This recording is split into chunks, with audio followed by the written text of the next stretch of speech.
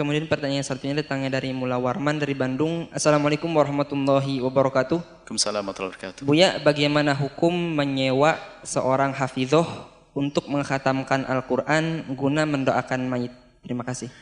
Pertama berbeda masalah doa mayit sama menyewa Al-Quran. Menyewa membaca Al-Quran tidak sah sewaan tersebut.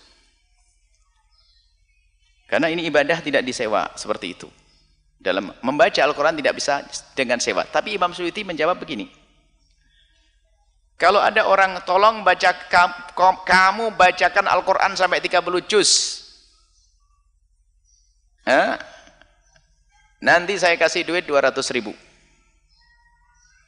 Maka kata Imam Suyuti, ini sah duitnya diambil oleh dia, tapi bukan atas dasar sewaan. Tapi atas dasar jualah. Jualah itu dalam bahasa fikih itu sayembara. Kalau kau melakukan begini aku kasih begini. Tidak ada hubungannya dengan bacaannya. Jadi tetap sah. Jadi bukan dalam rangka sewa menyewa.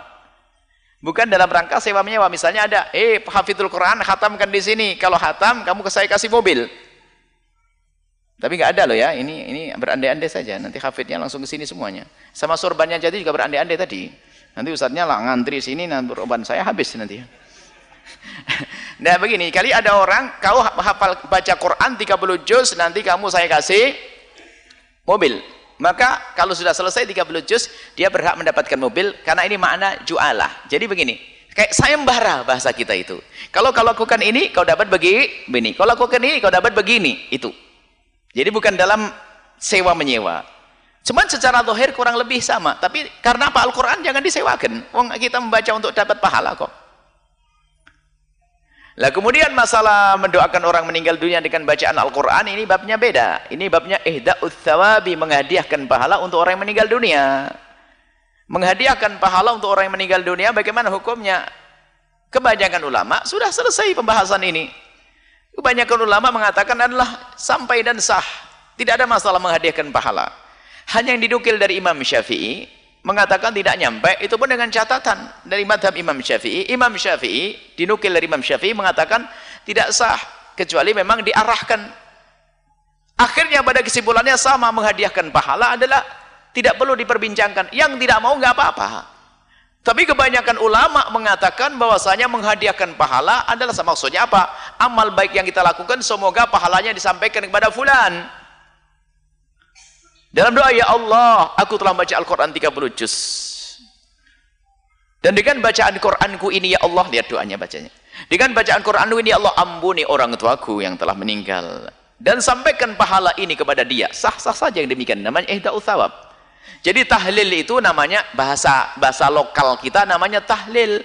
Tahlil itu ihda'u thawab menghadiahkan pahala hukum menghadiahkan. Jadi kalau bahasa fikih bahasa syariat itu dibasisah antara menghadiahkan pahala antara sedekah membuat makanan. Ini babnya beda-beda.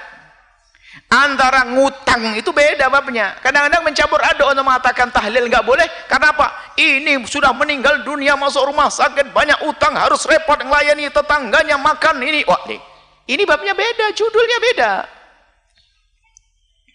Kan yang disalahkan kan utangnya ini. Sudah warisannya habis untuk berobat punya utang harus cembelih kambing untuk nyapa tetangga jelas ini salah anda memaksa. Ini bukan pembahasan di sini. Pembahasan masalah membuat makanan dan sedekah disepakati nggak ada khilaf. Kalau kita ada orang meninggal dunia kemudian dari sana kerabat saudara saya mami apa anda pengen bersedekah untuk nenek anda yang telah meninggal dunia. Sah bahkan sedekah sangat dianjurkan nggak ada yang melarang satupun dari ulama sedekah. Tapi ingat catatan dari harta sedekah itu tidak boleh dari harta waris. Harus dari harta pribadi Anda. Untuk selamatan orang tua tidak boleh dari harta waris. Karena harta waris itu milik bersama. Harus semuanya setuju. Jangan-jangan mentang-mentang Anda yang paling tua seenahnya. Sapinya enam disembelih semuanya. Adik yang paling melarat ngenes. Ya Allah, sapiku disembelih lagi. Sembelih lagi nggak boleh. Kalau anda pengen sedekah dari duit anda, bab sedekah untuk orang tua dan ini juga disepakati nggak ada perbedaan di antara ulama dan mari kita hindari khilaf dalam hal ini. Wallahu alam bisawab